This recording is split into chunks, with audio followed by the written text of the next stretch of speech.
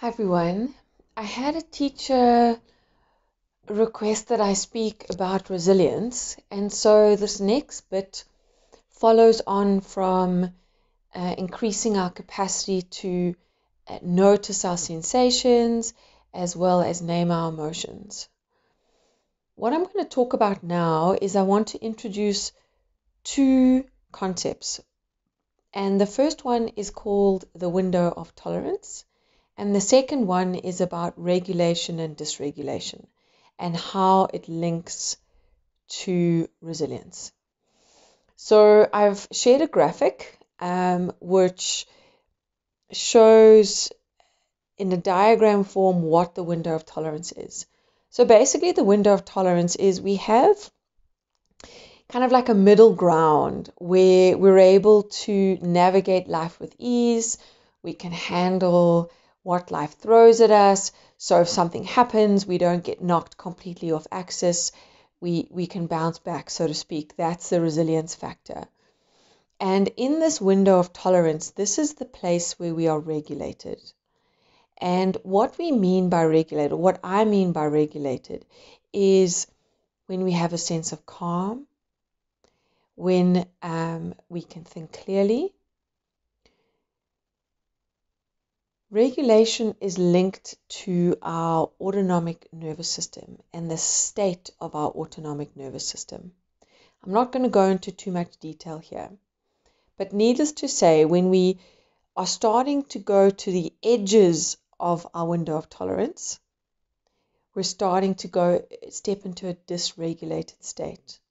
So you'll see from the diagram that you can either be in hypo or hyper.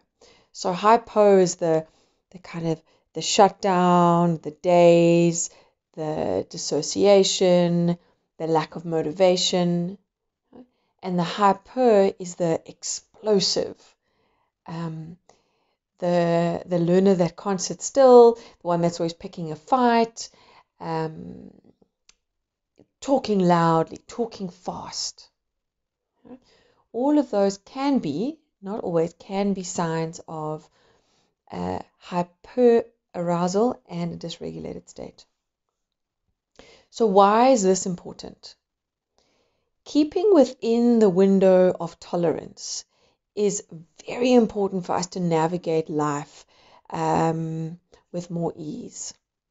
When we are sitting in either of those uh, hyper or hypo, we we're not able to handle what life throws at us. So our resilience is decreased. Yeah? Our resilience and our capacity to handle and respond to what is going on in the moment is lower. And you'll see on the graphic that that speaks about how trauma can shrink our window of tolerance. So what happens is when we're in, um, when we've experienced trauma, uh, or where we are in something like we are now, which is collective trauma and ongoing, our window of tolerance decreases. So we have less capacity to manage what's going on in our day to day lives, let alone uh, deal with any of the curveballs, which I know seem to happen on a daily basis.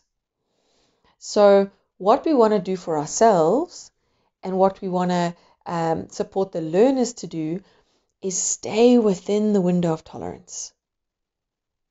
Okay?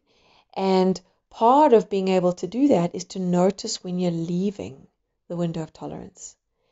And the way we do this is we notice what we are feeling. So, so we notice the sensations and we notice what that means. What are the emotions associated with that? With that. So if I notice I'm I'm buzzy, like that's the sensation.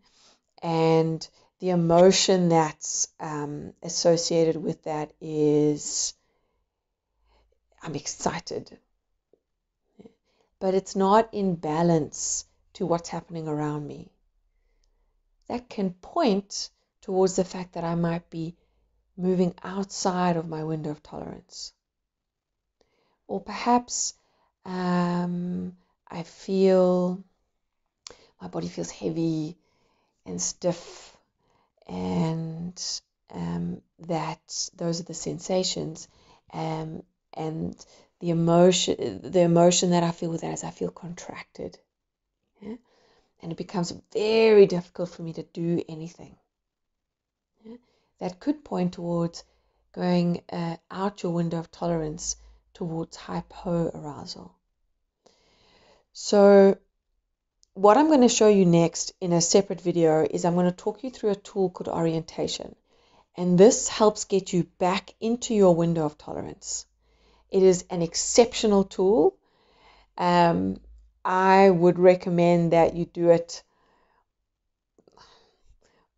four, five, six times a day. But certainly, if you're starting a class, whether it's in person or online, this is an incredible way to start helps everybody come back to center and just embody a little bit of calm before you embark on learning anything.